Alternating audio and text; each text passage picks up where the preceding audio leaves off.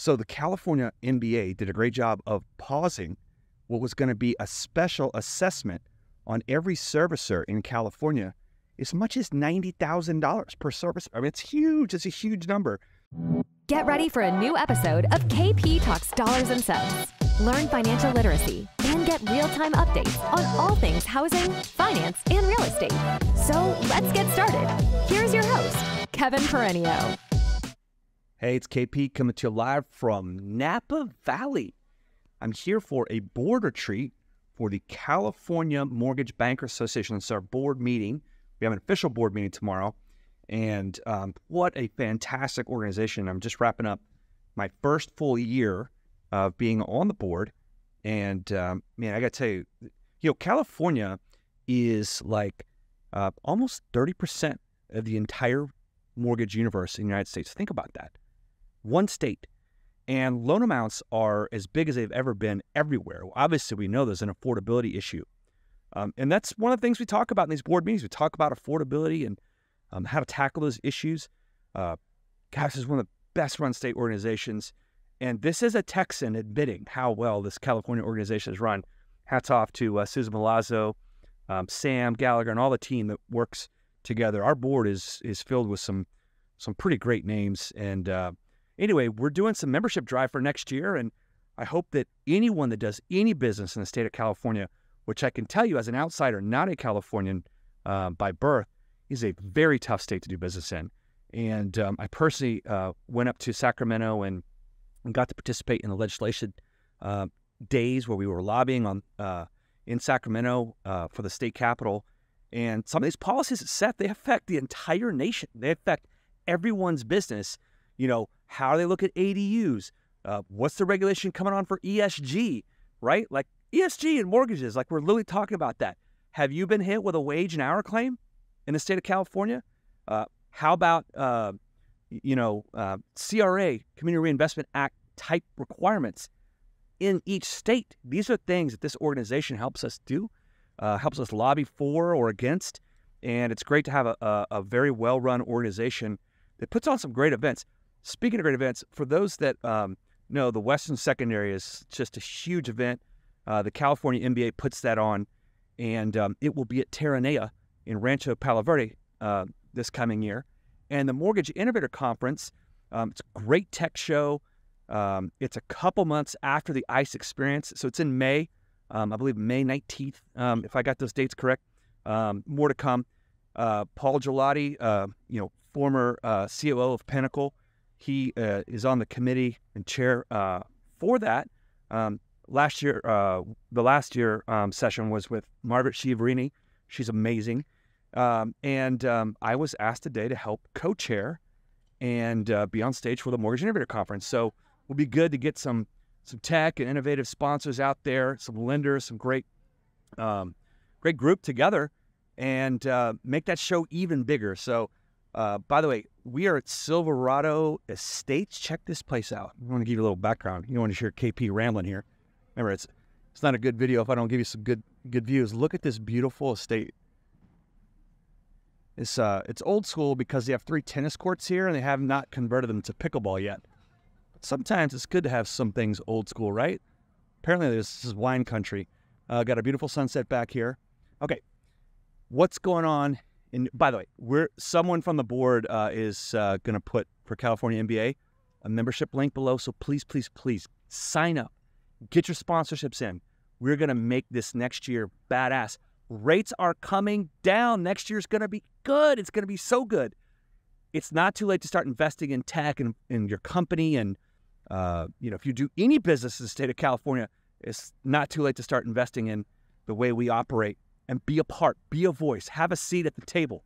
Man, I know how some people feel about politics, especially going into election year. We're jaded, our voice doesn't matter. It does matter. It matters. Uh, the state tried to do an assessment, and this board, Susan Milazzo and team, got the assessment put on hold to be discussed. Like, what are you assessing us for? Because we have, you know, uh, you know, this kind of license. Uh, you know, so anyway, there, there's a lot of good stuff they're doing. Uh, okay, this is Jobs Week, and there's a lot of jobs data that comes out. And um, during Jobs Week, we get the November jobs report. Okay. And so the reason I always put the air quotes is because it's like the last half of October and the first half of November data being collected. How many jobs were created in America? What's the unemployment rate? I heard a clip on CNBC today. It said 204 uh, for 2024, right? So um, I think it was 2024 actually, right? So uh, we're gonna get down to two percent inflation. We're gonna be at um, zero, as in there's no recession, and two, as in we'll have a uh, two percent uh, GDP, and uh, four was uh, the unemployment rate will be in the fours. It was pretty interesting. So that's your 2024. That's some kind of creative little thing there. So instead of an acronym, they took the year and said that's the kind of year we're going to have. A two. Actually, they said 204. I made up 2024, so I just threw another one in there. Um, so anyway, if we're going to have a soft-ish landing, and I, I will contend the soft landing's over, how hard will it get from here? We're going to find out with data. By the way, jobs opening labor turnover report, the JOLTS report, that came out today. 8.7 million jobs open. Down, supposed to be like 9.4, okay? Like 500,000 less jobs than expected open that's a softening labor market.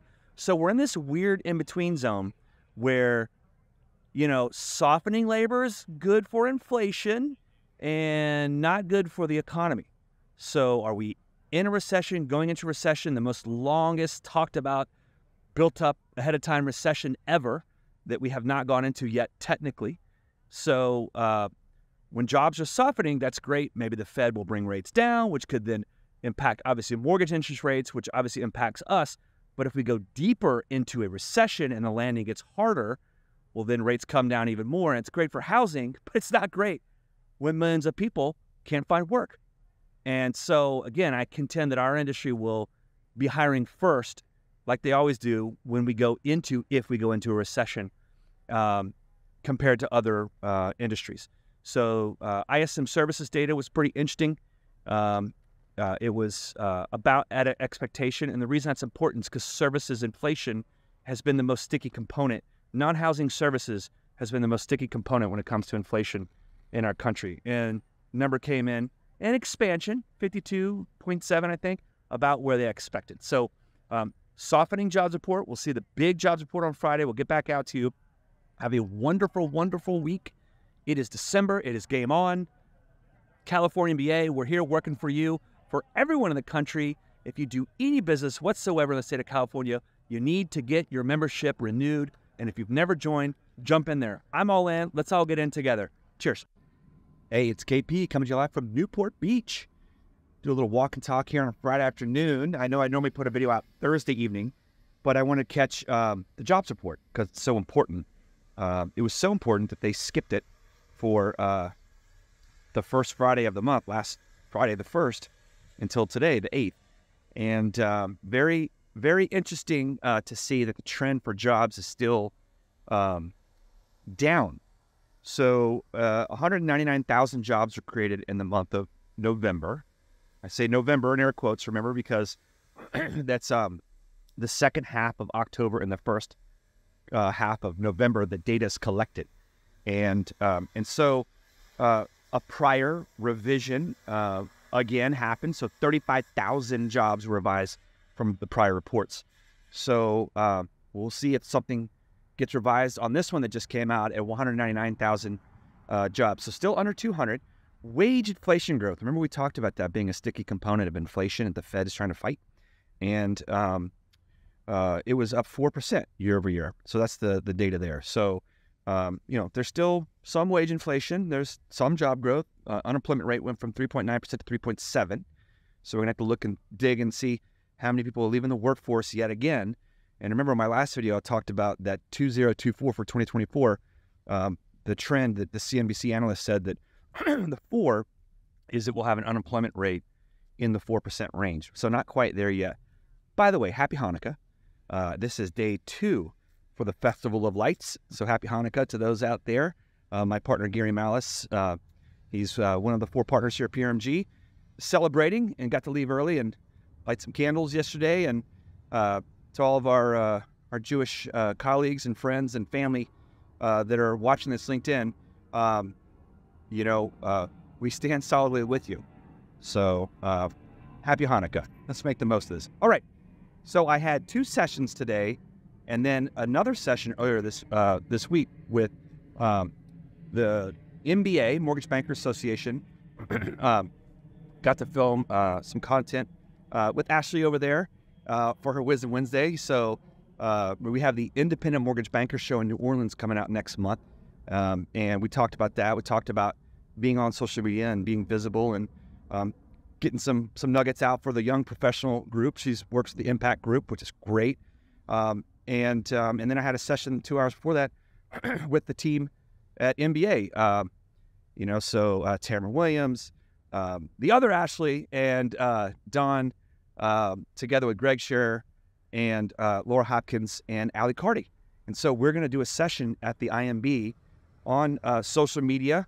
And um, this is kind of cool. I'm in like a little tower, a little tunnel here. Anyway, um, so we're doing a social media session on, uh, I believe, the Tuesday right after lunch. So the first breakout session.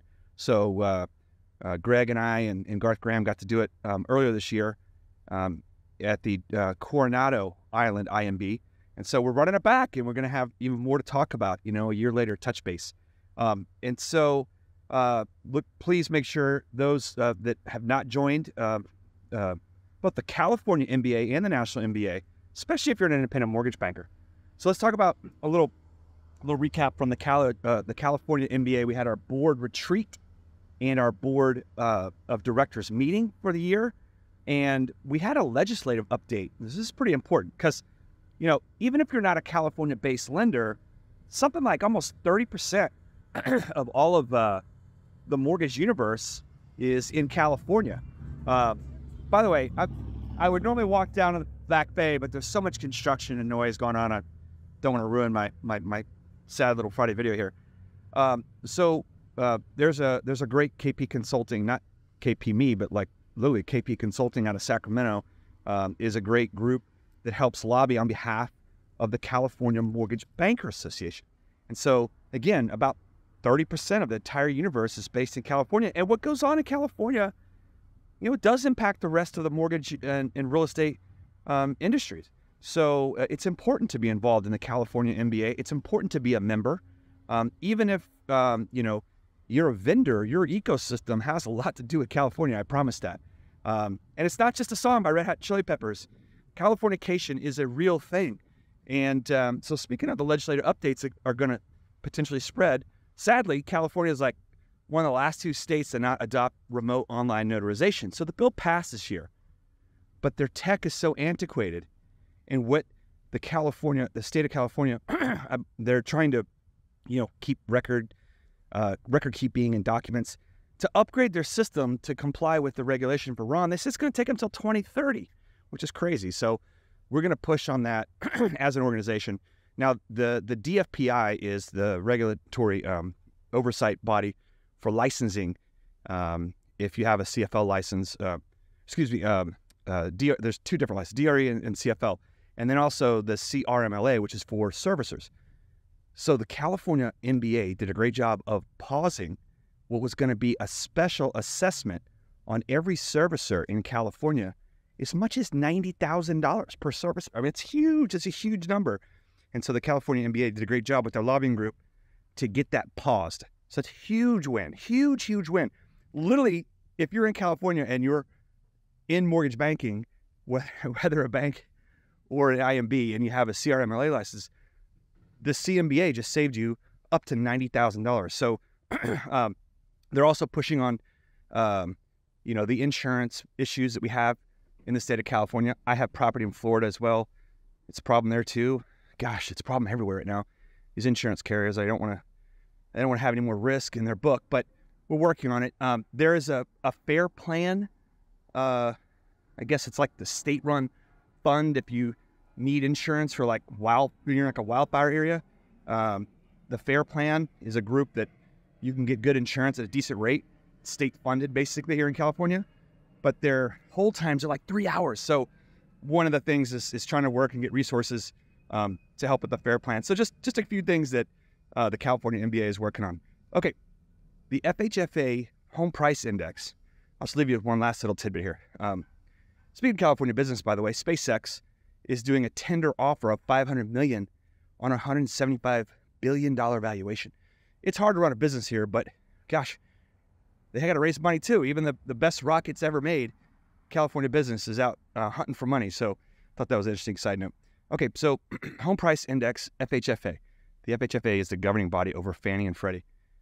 5.5% home appreciation through the end of the, of the third quarter, year over year. So, one year through September, 5.5% appreciation. Remember a year ago when people were freaking out? Oh, I'm just going to wait for home prices to come down. I'm going to wait for rates to come down. Eh, didn't happen. Either one. Neither one happened. Home prices went up. It's going to happen again next year. We're watching rates go down right in front of our face in, in 90 basis points off the 10 year in just 45 days. Interest rates are trending down. Now, you know, they're not going to go straight down and it's going to take time. Obviously, a Fed rate cut would be the big impetus for uh, rates to come down. But I'm telling you, when they come down, sometime, everyone thinks next year, there'll be more demand for mortgages. I mean, home prices will go up again. So, anyway, just tell your borrowers don't wait. Um, it didn't work last year. It's not going to work this year. This time of year is seasonally soft. If you are hunting for houses, you know people are, have them pull the trigger. This is the time to pull the trigger because once New Year's comes up and then the warm weather comes out, and if rates go down, it's going to be hard to get under contract, to be a lot of competition. Have a fantastic weekend. Happy Hanukkah. Happy holidays. Cheers.